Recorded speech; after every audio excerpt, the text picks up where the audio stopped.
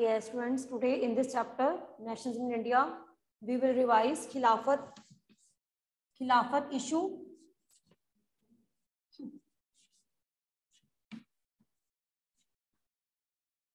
And non-cooperation movement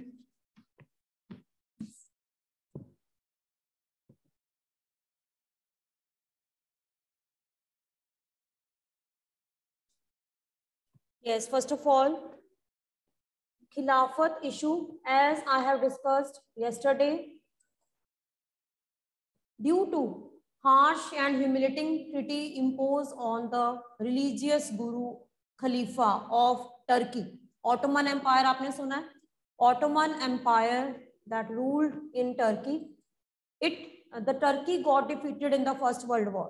ठीक है Turkey जो कंट्री थी it got defeated in the first world war by Britain France and Russia and when it got defeated then harsh and humiliating treaties were imposed on spiritual leader khalifa religious guru king of turkey so muslims all over the world they turned against britishers and that's why in india also committee was formed in bombay this committee was known as khilafat committee And when this committee was formed, uh, this was founded by two brothers, Muhammad Ali and Shaukat Ali. Ali brothers जिन्हें कहा जाता है.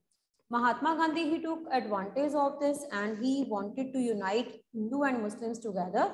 So that's why he he gave a proposal to unite, reunite Khilafat and non-cooperation movement because they also wanted some broad-based movement that should be at the national level in which all the people in India could participate. Yeah? And for that, INC, Indian National Congress called session. ठीक है इसके दो session हुए थे otherwise INC का एक ही session होता था लेकिन 1920 में इसके दो सेशन हुए। पहला सेशन हुआ सितंबर में और ये कहाँ पे बुलाया गया?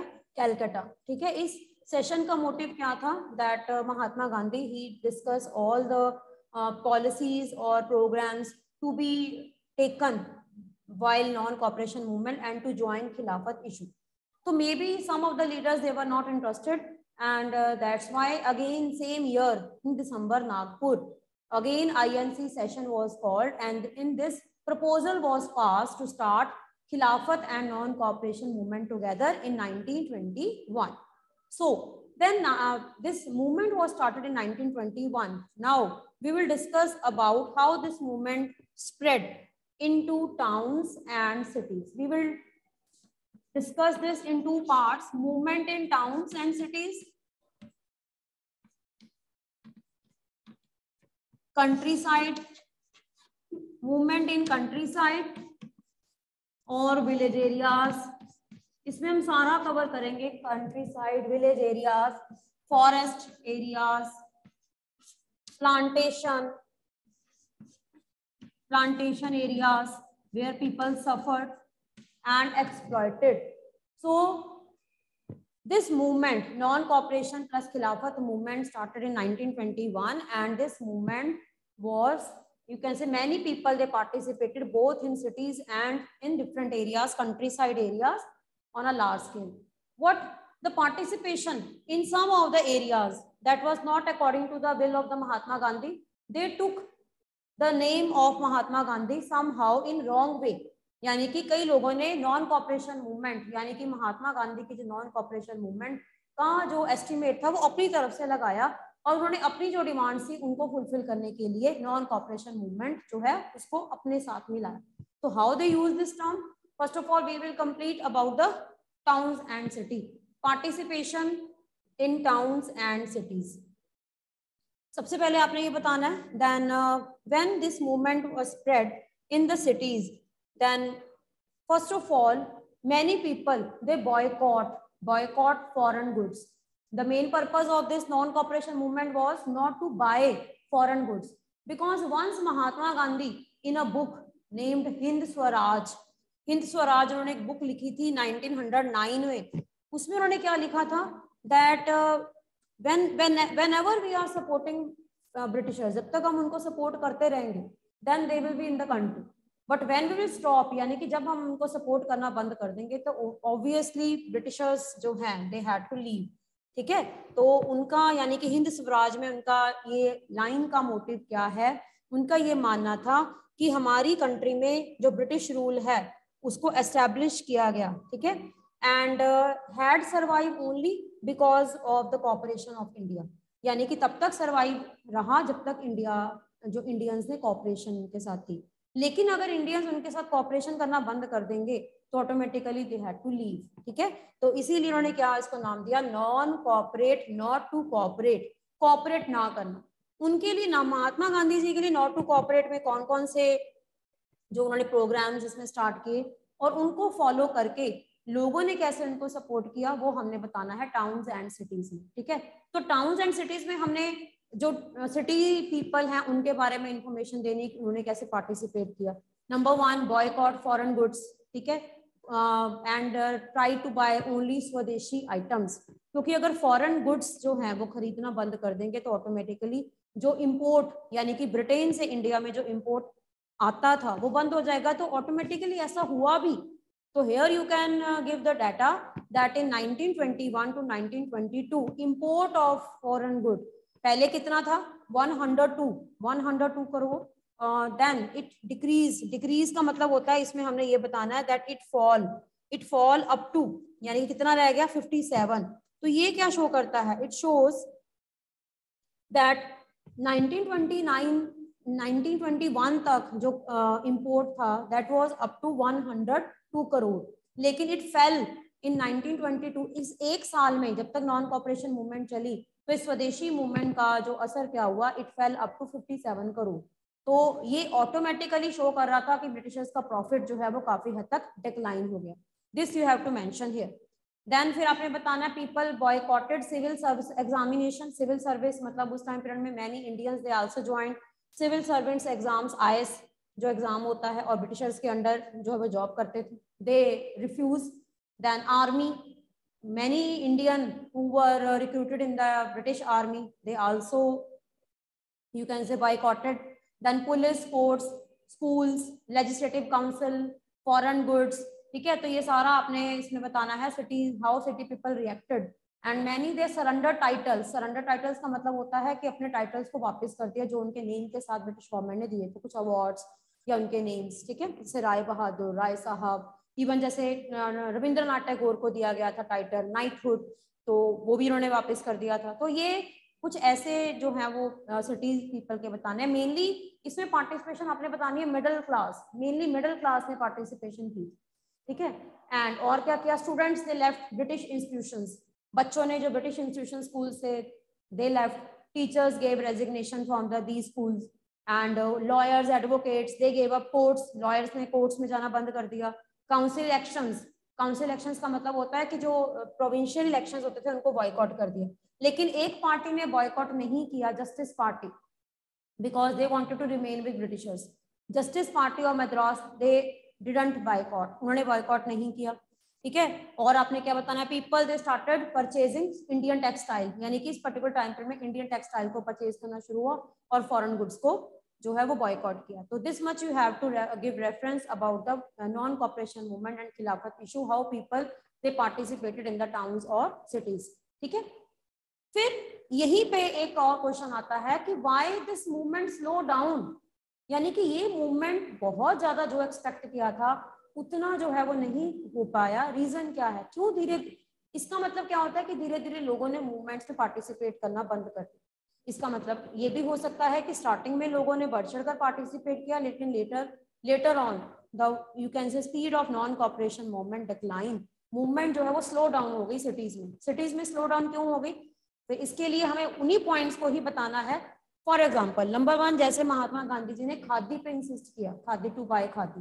But it was very expensive khadi जो थी that was very expensive and poor people can't afford जो गरीब लोग होते हैं, वो अफोर्ड नहीं कर सकते। इसका मेकिंग प्रोसेस बहुत टफ होता है। तो हमारी कंट्री में खादी के अलावा कोई और इंडियन क्लोथ का अल्टरनेट नहीं था। So that's why at that time ये जो खादी को खरीदने का जो इंसिस्ट किया जा रहा था, ये ज़्यादा देर तक सक्सेसफुल नहीं हो पाए number two many students and teachers who left schools otherwise हम ये कह सकते हैं कि जब बढ़ चढ़ के पार्टिसिपेट तो किया but later on many people they again join the British institution even students they also join जो कॉलेज लेक्चरर थे they also join the again British institution reason क्या because at that time in India no alternate Indian educational institution were there तो लोगों के पास कोई और option नहीं था। अब एम्प्लॉयमेंट थोड़ी छोड़ सकते थे so that's why they rejoin their old British institutions जिनको जहाँ से उन्होंने रेजिग्नेशन किया, उनको फिर उन्होंने ज्वाइन कर लिया, बच्चों ने फिर से स्कूल जाना शुरू कर दिया। ठीक है? थर्ड फिर आपने क्या बताना? People were fed up from the movements अब लोग कितना मूवमेंट में पार्टिसिपेट करेंगे? ठीक है? Some people they were fed up from the movements they want they wanted alternate alternate का मतलब होता है कि वो कोई और तरीका चाहते थे। और इनमें से कुछ लोगों ने क्या तरीका ढूंढा?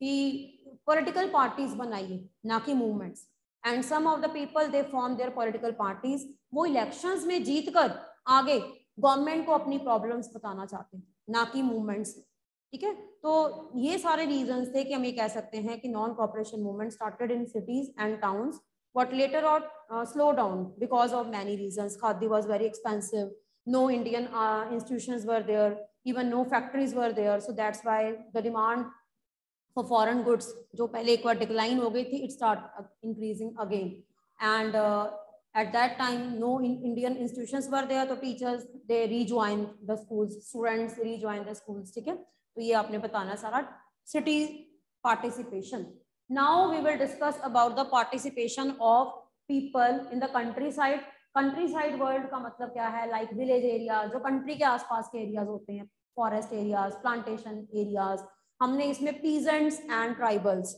यानी कि हमने पीजेंट्स एंड ट्राइबल्स की प्रॉब्लम्स बतानी है कि which kind of problems these people face in the countryside ठीक है? तो इसमें हमने अलग अलग स्टेट्स अलग अलग कैटेगरीज जो है वो एक्सप्लेन करनी है। If the question is of five marks then you have to make different different paragraphs with heading clear like number one सबसे पहले हम इसमें बताएँगे जो मेन कंट्री साइड की जो पार्टिसिपेशन है country side participation in non cooperation movement by different reasons ठीक है? इसमें सबसे पहले हमने क्या बताना है? Rebellion rebellion in the Awadh revolt rebellion in Awadh अब इसको बहुत ध्यान से याद रखो, ये अलग से भी आपको टॉपिक आ सकता है लाइक फाइव मार्क्स का टॉपिक आपको सिर्फ़ अलग से ही आ सकता है। अदरवाइज़ पूरे क्वेश्चन का ये वन जो है वो पॉइंट होगा। जितने भी पॉइंट्स हैं वो आपको सेपरेट भी आ सकते हैं। तो आपको बहुत डिटेल से इनको बताना है, ठीक है? अवध में जो प्रॉब्लम थी this was the problem of the peasants ये नॉन कॉपरेशन मूवमेंट के टाइम नहीं, पहले के टाइम से ही थी, ठीक है? मेनली यहाँ पे सफरर वह सफरर कौन थे? पीजेंट्स ठीक है? लेकिन यहाँ पर पीजेंट्स की जो लड़, लड़ाई थी वो किनके साथ थी? Their rich landlords rich landlords जिनको तालुका तालुका मतलब पर्टिकुलर एरिया उस एरिया के जो लैंडलॉर्ड्स होते हैं तालुकादार भी कहते हैं रिच लैंडलॉर्ड्स भी कहते हैं। तो रिवेलियन इन अवध यानी कि कंट्री साइड में हमने सबसे पहले बताना है कि अवध के पीजेंट्स ने नॉन कॉपरेशन मूवमेंट को कैसे लिया और कैसे उसमें पार्टिसिपेट किया। अवध के जो पीजेंट जो थे, ठीक है, वो रिच लैंड लॉर्ड्स उनको एक्सप्लॉयट करते थे। They were exploited by the rich landlords how they had to pay high rents high rents rent का मतलब होता है जैसे लगान रेवेन्यू ठीक है? वो किनको पे करते थे? रिच लैंड लॉर्ड्स उनसे हाई रेंट्स लेते थे, ठीक है? एंड प्रॉब्लम क्या थी? इसके अलावा कुछ ऐसे भी लोग थे जिनको बेगार बेगार भी करना पड़ता था। बेगार यहाँ पे वर्ड याद रखो force labour forced labour peasants हम peasants they had to do बेगार। बेगार का मतलब होता है फोर्स लेबर या फ्री लेबर फोर्स लेबर भी कह सकते हो फ्री लेबर भी कह सकते हो। यानी कि बहुत से रिच पीजेंट जो थे, अपने फार्मर से बेगार करवाते थे फ्री लेबर करवाते थे और कईयों से बहुत हाई रेंट्स लिए जाते थे। ठीक है? And there was no security of work also no security of work का मतलब होता है, कभी भी इनको काम से निकाल दिया जाता था। And many peasants they started revolt अब धीरे धीरे क्या हुआ? पीजेंट्स ने क्या किया? रिवोल्ट करना शुरू कर दिया। Under the guidance of Baba Ramchandra सन्यासी यहाँ पे लीडर का नेम ज़रूर मेंशन करना है। स्टेट का एरिया का नेम ठीक है? यहाँ पे आप मेंशन ज़रूर करोगे। बाबा रामचंद्र सन्यासी कौन थे ये? ये खुद एक इंडेंचर लेबर थे। इंडेंचर लेबर जो है मतलब जिनको ब्रिटिश गवर्नमेंट कुछ लेबर्स को दूसरी कंट्रीज़ में भेजते थे कॉन्ट्रैक्ट लेबर फिजी में जाकर आए थे और वहाँ पर इन्होंने उनकी कंडीशन को देखा था। So that's why when he came back जब वो वापस यहाँ पे आए तो उन्होंने सभी जितने भी बेगार या पीजेंट्स थे, उनको अपने साथ लिया। एंड दे रिवोल्टेड अगेंस्ट इनकी लड़ाई ब्रिटिश गवर्नमेंट के साथ नहीं थी, इनकी लड़ाई किनके साथ थी? रिच लैंड लॉर्ड तालुकादार के साथ थी, क्योंकि वो इनसे बेगार और इनसे हाई रेंट्स लेते थे, ठीक है? So that's why this was a reason of the you can say dispute between peasants and rich landlords ठीक है? अब जिस टाइम पर हमें नॉन कॉपरेशन मूवमेंट की स्टार्टिंग हुई, उससे पहले भी काफ़ी हद तक जो है वो कांग्रेस पार्टी जो थी, यानी कि आईएनसी कांग्रेस पार्टी ने पीजेंट्स के राइट्स के लिए या इन लोगों के राइट्स के लिए काफ़ी फाइट की। इवन पंडित जवाहरलाल नेहरू, जो कांग्रेस पार्टी के इंपॉर्टेंट लीडर थे, उन्होंने भी अवध किसान सभा बनाई। अवध किसान सभा बनाई इनको सपोर्ट करने के लिए। इनकी डिमांड्स जो हैं, जो भी इनकी डिमांड्स हैं, उनको फुलफिल करने के लिए अवध किसान सभा कंट्री में अलग अलग ऑर्गेनाइजेशंस बनी ठीक है? एंड uh, कुछ पीजेंट्स जो थे या कुछ ऐसे लोग थे जो बॉन्डेड लेबर करते थे इन्होंने रिच लैंडलॉर्ड्स के अगेंस्ट जब रिवोल्ट किया तो सोशल बाइकॉट सोशल बाइकॉट करना मतलब? कुछ सर्विसेज़ प्रोवाइड ना करना। लाइक like आपकी बुक में एक रेफरेंस दिया गया है नाई धोबी बंद। नाई धोबी बंद का मतलब कहता है बार्बर या वॉशरमैन फैसिलिटीज़ इनको ना देना। ठीक है? यानी कि इनका सोशली बॉयकॉट कर देना। सोशली बॉयकॉट का मतलब क्या होता है कि अगर लेबर क्लास अपने लैंडलॉर्ड्स के लिए काम ही नहीं करेगी काइंड ऑफ़ स्ट्राइक कर देगी तो ऑटोमेटिकली लैंडलॉर्ड्स जो हैं, उनको प्रॉब्लम होगी। ठीक है? जो लेबर क्लास है, अगर वो अपनी सर्विसेज़ प्रोवाइड ही नहीं करेगी तो लैंडलॉर्ड्स को प्रॉब्लम होगी। तो ऐसा इन्होंने क्या किया? सोशल बाइकआउट करना शुरू कर दिया। सोशल बाइकआउट का मतलब क्या होता है? पीजेंट्स ने मिलकर बेगार जो थे फोर्स लेबर जिनसे ज़बरदस्ती लेबर करवाई जाती थी, उन्होंने अपनी सर्विसेज़ जो है प्रोवाइड करनी बंद कर दी। तो उनके लिए नॉन कॉपरेशन मूवमेंट का मतलब क्या था? Not to cooperate with the land याद रखना यहाँ पे। उनकी लड़ाई नॉन कॉपरेशन मूवमेंट में ब्रिटिशर्स के साथ नहीं थी, उनकी लड़ाई पीजेंट्स की लड़ाई किनके साथ थी? उनके एरिया में जो रिच लैंडलॉर्ड्स उनको एक्सप्लॉइट करते थे उनके साथ। ठीक है? And that's why they social socially declare social boycott with them भी बंद, यहाँ पे एक टर्म है जिसका मतलब है कि बेसिक सर्विसेज़ जो है वो प्रोवाइड ना करना, क्योंकि अगर लेबर ही उनको सर्विसेज़ प्रोवाइड नहीं करेगी तो अल्टीमेटली इन लोगों को प्रॉब्लम आएगी। So they wanted to teach a lesson to these rich people peasants and taluqdar. ठीक है? तो जब नॉन कॉपरेशन मूवमेंट के बारे में इन लोगों ने सुना कि महात्मा गांधी जी ने 1921 में नॉन कॉपरेशन मूवमेंट स्टार्ट की है, इन्होंने उनका नाम कैसे लिया? यानी कि इन्होंने उनके नाम का जो है वो यूज़ कैसे किया? They started attacking on the storehouses of rich landlords ठीक है? नॉन कॉपरेशन मूवमेंट का मीनिंग इनके लिए क्या था?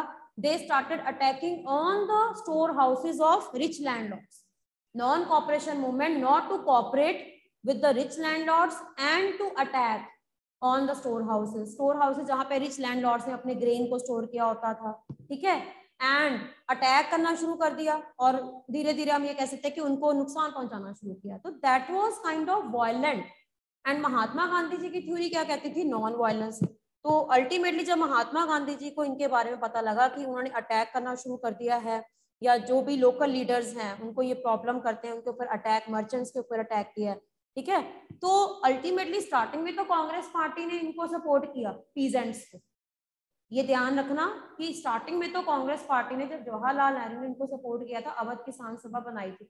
लेकिन जब नॉन कॉपरेशन मूवमेंट का मतलब इन्होंने गलत ढंग से लिया, इन्होंने रिच लैंड के ऊपर अटैक करना शुरू कर दिया मर्चेंट्स के ऊपर अटैक किया और उनके स्टोर हाउसेस के ऊपर अटैक किया तो that's why the movement was kind of violent तो यही रीजन था कि कांग्रेस पार्टी ने फिर जो पुअर पीजेंट्स थे या फोर्स लेबर थे उनके इन एक्ट्स में उनको सपोर्ट नहीं किया। Clear otherwise non cooperation movement में इनकी पार्टिसिपेशन इनके लिए नॉन कॉपरेशन मूवमेंट क्या थी? Not to support with the rich landlords clear और uh, इसीलिए बाद में जब non cooperation movement large scale पे नहीं स्प्रेड हो पाई तो कांग्रेस पार्टी ने इनके एक्ट्स को सपोर्ट नहीं किया और धीरे धीरे इनकी जो पार्टिसिपेशन है मूवमेंट में जो है वो बहुत ज़्यादा जो है वो इंक्रीज नहीं हो पाई। क्लियर यहाँ तक क्लियर है? This point is clear any doubt you want to ask any question regarding this Awadh rebellion of Awadh हाँ जी Bhumika thank you any other student you want to ask any question Awadh participation of the peasants of Awadh and this is only a point of this participation ठीक है? अगर तो एक point है तो इसमें आपने सारी इंफॉर्मेशन को बहुत शॉर्ट में लिखना है। तो अगर ये पूरा क्वेश्चन सिर्फ़ अवध से ही आता है तो आपने ये सारी एक्सप्लेनेशन करनी है, सारे पॉइंट्स आपने बताने अदरवाइज़ आपने, अगर सिर्फ़ सिर्फ़ फ़र्स्ट पॉइंट है तो उसको आपने टू थ्री लाइन में एक्सप्लेन करना। जिसमें सारे ये जस्ट आपने जो भी पॉइंट्स हैं, ये क्लियर होने चाहिए। इसलिए we are doing how different groups participated in non cooperation movement सबसे पहले हमने कौन सा ग्रुप लिया? पीजेंट्स का। फोर्स लेबर बेगार जिनसे करवाई जाती थी और उनकी लड़ाई किनसे, किनके साथ थी? रिच लैंड के साथ। Clear any doubt okay next is participation of forest people in Gudem hills Andhra Pradesh participation of forest people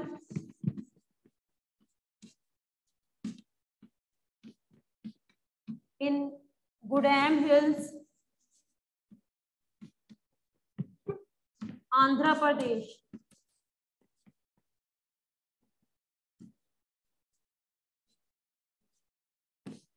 अब ये सारा जो है टॉपिक ये है फॉरेस्ट पीपल की प्रॉब्लम्स और किनके किनके अगेंस्ट ब्रिटिशर्स तो ये डायरेक्ट है relation of forest people with Britishers की उनके साथ इनके रिलेशंस कैसे थे? ठीक है? तो इसके लिए सबसे पहले आपको पता होना चाहिए कि when Britishers came in our country then at that time their main motive was to collect taxes from the people but some of the forest people like forest people भी अलग अलग तरह के होते हैं like nomadic who move from one part to another nomadic होते हैं।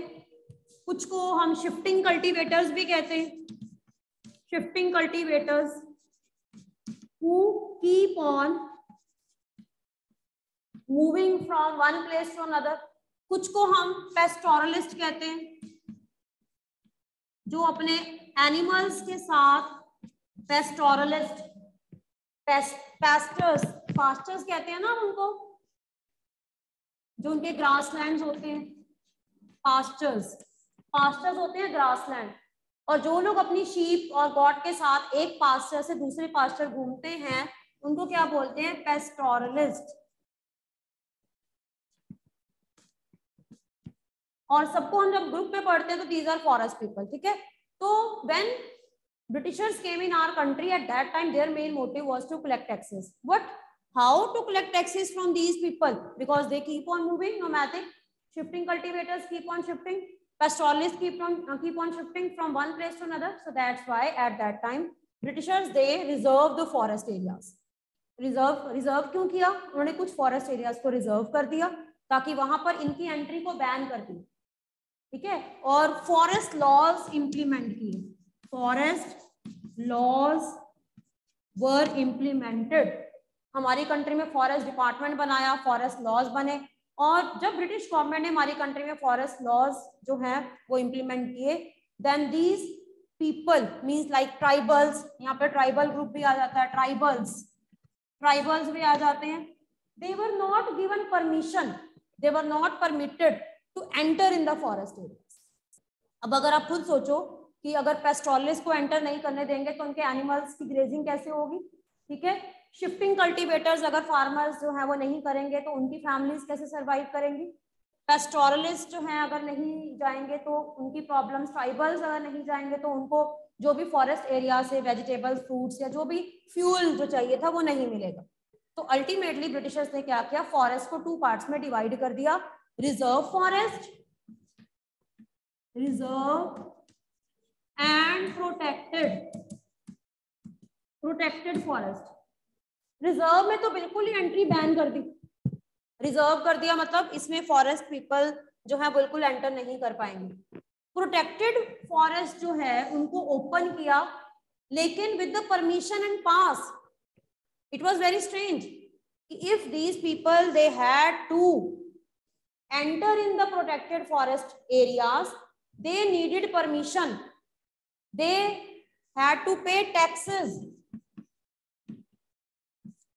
If they wanted to acquire fuel then they had to pay tax if they wanted grazing for their animals they had to pay tax on each and every animal तो आपको सोचो कि जो इनके customary rights थे जो लोग पहले उन फॉरेस्ट एरियाज़ में फ्रीली घूमते थे now British wanted income from these people तो ये जो है वो अल्टीमेटली ट्राइबल्स के लिए फॉरेस्ट पीपल के लिए जो था, वो मेन पॉइंट ऑफ़ रिवोल्ट था। That's why they wanted to revolt against British policies यहाँ तक क्लियर है? रीजन क्लियर है? Why these people they were against Britishers now non cooperation movement जब महात्मा गांधी जी ने नॉन कॉपरेशन मूवमेंट डिक्लेयर की, इनके लिए नॉन कॉपरेशन मूवमेंट का क्या मतलब? इन्होंने क्या किया? इनके लीडर, यानी कि जो ट्राइबल्स लीडर थे, उनका नाम याद रखना जैसे पिछले में आपने याद रखा, बाबा रामचंद्र सन्यासी, जो इंडेंचर लेबर थे फिजी थे इनपे अपने क्या नाम रखना है? अलूरी सीताराम राजू। लीडर का नाम ज़रूर याद रखना। अलूरी सीता राम राजू ट्राइबल लीडर जिसको ट्राइबल अपना गॉड मानते थे। ठीक है? तो इसमें उन्होंने क्या किया? Many people they took the meaning of non cooperation in their own way इनके लिए महात्मा गांधी की नॉन कॉपरेशन मूवमेंट का मतलब क्या था? That they wanted to enter in the protected areas उन्होंने क्या किया? दे एंटर्ड जिस एरिया में उनको जाने से मना किया था, जिस एरिया में जाने के लिए उनको टैक्स पे करना पड़ता था, उस एरिया में उन्होंने ज़बरदस्ती जाना शुरू कर दिया। इनके लिए नॉट टू कॉपरेट का मतलब क्या था? To break the rules to break the forest laws and they entered in the forest areas they attacked on the police station forest guards जो उस टाइम में ब्रिटिश फॉरेस्ट गार्ड्स होते थे, उनके ऊपर उन्होंने अटैक किया। अलूरी सीताराम राजू जो थे, उन्होंने महात्मा गांधी के बारे में बहुत सुना था और उनके बारे में जो भी उनकी जो थिंकिंग थी वो अपने लोगों को बताते थे, क्योंकि ट्राइबल्स उनको अपना गॉड मानते थे। और इवन अलूरी सीताराम राजू जो थे, उन्होंने ट्राइबल्स को इस चीज़ के लिए कन्विंस किया दैट गेव अप ड्रिंकिंग ठीक है? ताकि लिक्कर लिक्कर से सबसे ज़्यादा फ़ायदा उस टाइम ब्रिटिश गवर्नमेंट को होता था। लिक्कर तो लिक्कर को क्या किया उन्होंने? रिफ्यूज टू टेक है ना? अपने जो है, उनके फॉलोअर्स उनको भी बोला। देन इसके अलावा खादी पे इंसिस्ट किया।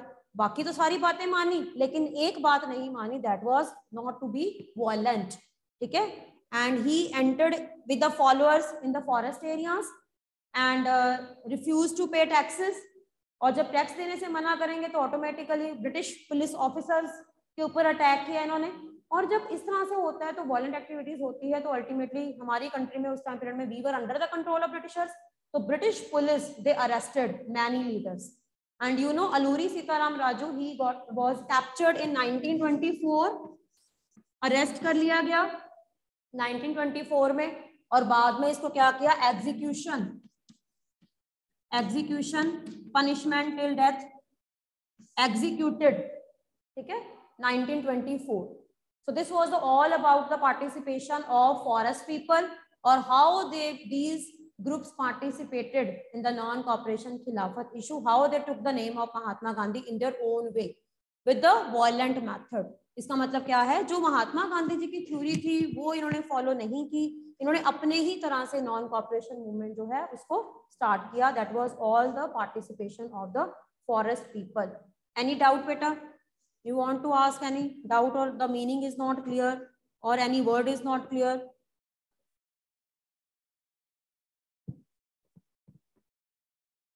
yes again I am repeating write a note on non cooperation and Khilafat जब इस तरह से क्वेश्चन आता है तो ये क्वेश्चन बहुत ओपन क्वेश्चन होता है.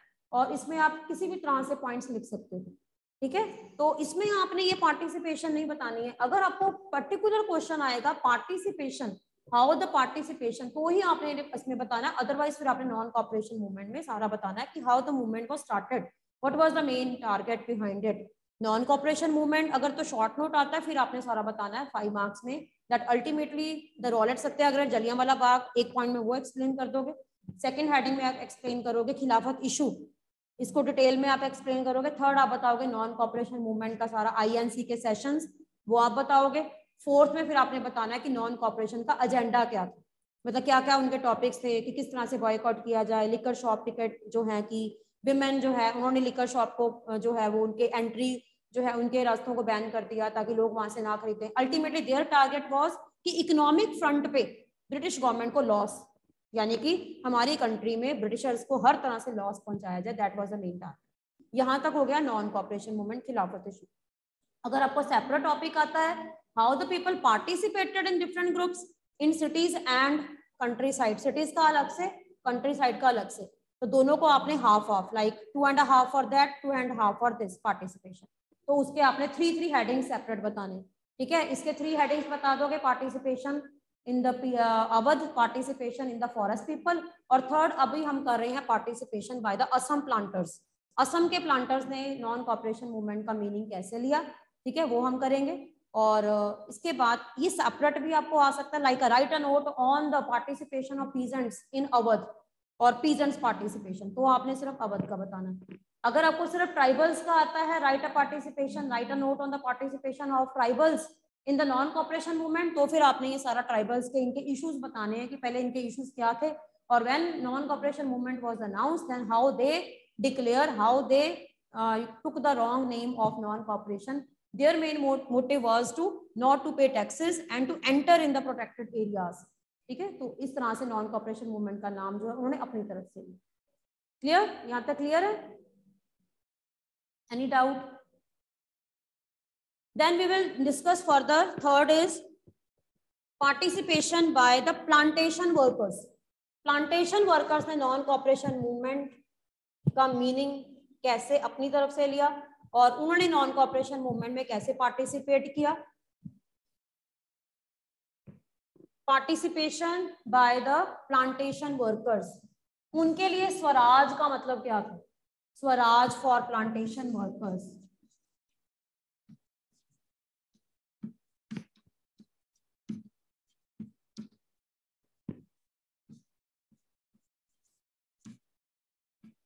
Assam basically इस स्टोरी ऑफ़ असम। इसके लिए थोड़ा सा बैकग्राउंड में बताओगे? असम में प्लांटेशन है टी प्लांटेशन है ना? वहाँ पे प्लांटेशन वर्कर्स को ब्रिटिश गवर्नमेंट की तरफ़ से एम्प्लॉय किया गया। एंड ये एक्ट बना था inland emigration act of it 1859 inland emigration act